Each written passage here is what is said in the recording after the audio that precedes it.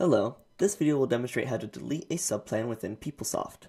To learn how to get to this screen, watch the PeopleSoft navigation video within the Blackboard workshop. Before making any changes to a student's program, make sure their status is active in program. Since this is so, we're going to add a new effective dated row. Now that you've added a new row, there are a few fields that you will want to check. First off is the effective date field. It is important to consider the effective date carefully, as you cannot change the effective date once changes have been made to a student's program.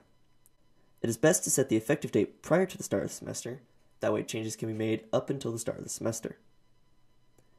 Next is the Program Action field. Since we are changing a student's subplan, the Program Action field will be Plan Change, or PLNC. Next is the Action Reason field. The action reason for student advisors will always be student request, the code for which is STRQ. Next is the requirement term. The requirement term is the catalog year.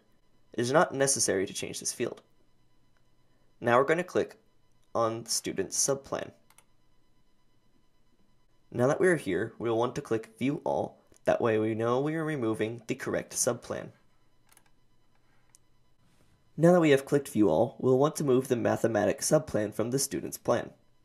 To do so, you'll have to click the minus icon to delete a row. A delete confirmation window will appear, and you will want to click OK. From here, you will click OK and be taken back to the Academics tab of the Student Services Center for the student that you are viewing. Now that you are here, you will want to check the Plan section of the Academics tab to view your changes. If you do not see your changes here, it is possible you may have clicked cancel or have future dated the effective date. If you have future dated the effective date, you will see the changes here on that date.